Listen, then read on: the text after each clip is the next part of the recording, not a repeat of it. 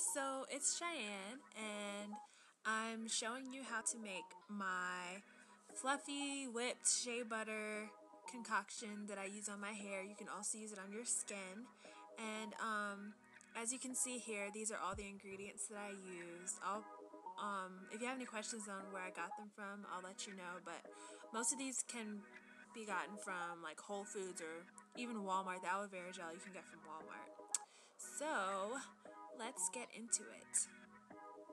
So first what you're going to want to do is heat up your shea butter so that you can actually like um, put a spoon in it and get it into the bowl because when you get it it's really hard. So what I did was I just sat it in a pot with hot water in it and that really made it easy for me to just scoop it out and put it in the bowl.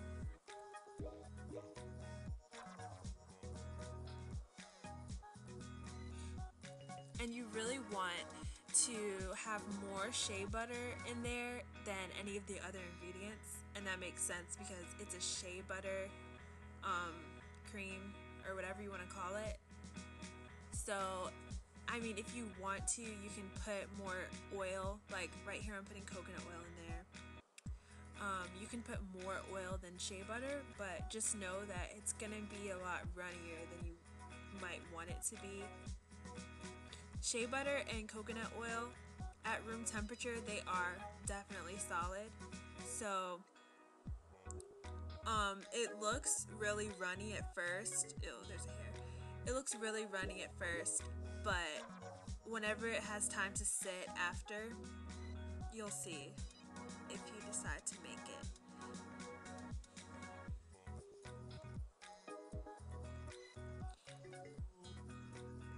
So right here, all I'm doing is stirring it with my hand and I'm doing it pretty fast trying to get a lot of the clumps out. There aren't too many clumps but some of the coconut oil isn't completely liquid and I didn't want it to be liquid. I wanted it to be able to scoop out so I could see it. So what you can just do is take your spoon and mash it on the bottom or on the sides and that kind of takes care of that problem see it's really runny. That's how you want it to be while you're making it, but it won't be like that after.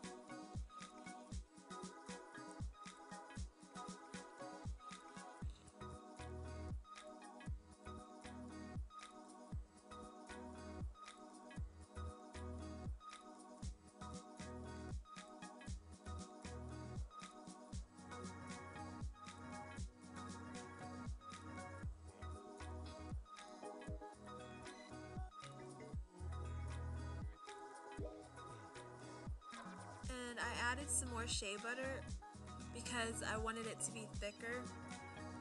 And you definitely don't want to use all of the shea butter that you have because if you use all of it and it ends up being too runny then there's nothing you can do about it.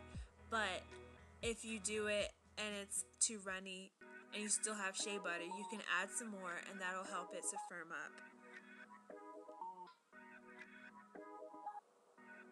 and I don't use any measurements. I just kind of eyeball it. right here, I'm putting about eight pumps of aloe vera gel. You don't have to use that much, but I just like having it in there.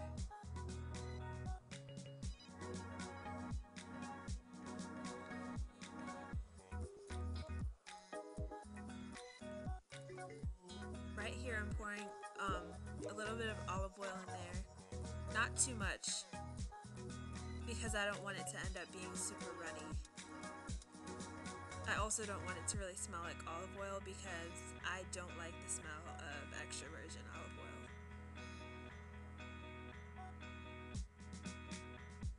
and you can barely see it right here I'm sorry but I'm pouring a little bit of castor oil in it if you're familiar with castor oil then you know that it's very thick and um I just like it to be in there because it is a thick oil and it's very moisturizing but I didn't want to put too much in there.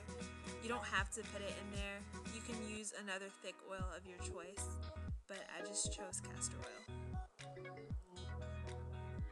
So you can put it in the refrigerator or the freezer, just know that it's going to be pretty hard whenever it comes out of the freezer, so be careful and watch it.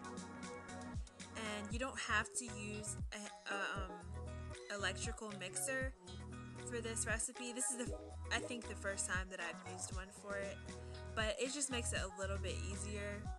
You can use your hand, it's not that big of a deal. But if you do have access to one, then I definitely recommend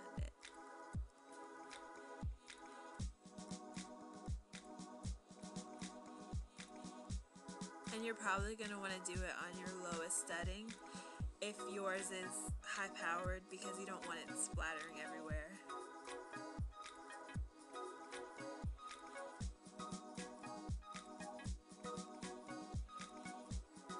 Make sure you scrape the sides so you can get all of your product. And as you can see, I'm putting even more shea butter in there because I just really love for mine to be thick and I can't stand runny product. So this is really gonna help that out.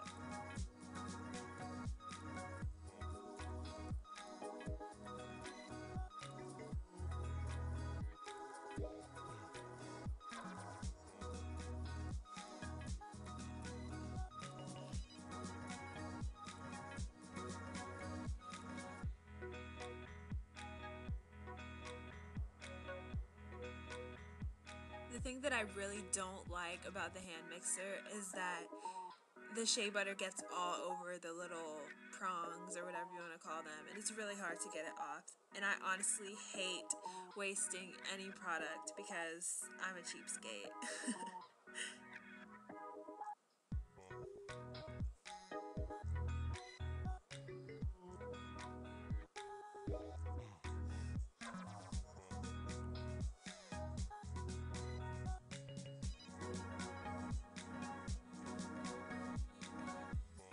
sure you get it off the sides.